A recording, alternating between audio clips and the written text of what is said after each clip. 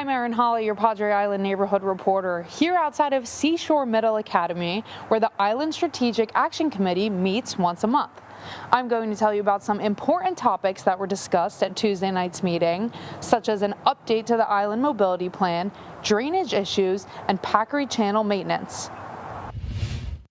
Island Strategic Action Committee, or ISAC, meets on the first Tuesday of every month to talk about projects involving the development of Padre Island. February's meeting covered multiple topics that are important to the community of Padre Island. When you do an infill lot and you have neighbors, your lot's a lot higher and it's flooding the neighbors. So that's an issue that we knew was going to be an issue several years ago and it's coming home to roost. So we're just trying to get staff to take a look at it and city council to take a look at it. So that's one of the issues that we're going through.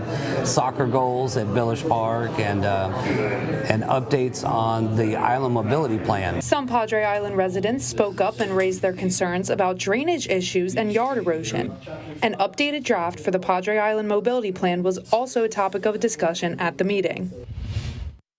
Be sure to keep you updated on these ongoing projects on Padre Island.